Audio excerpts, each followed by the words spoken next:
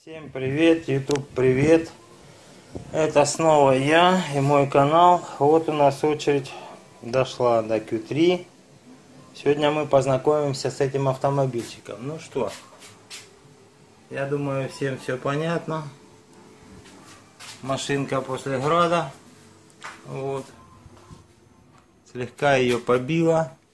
Вот здесь одна есть особенность. Капот алюминиевый. Его тоже побило.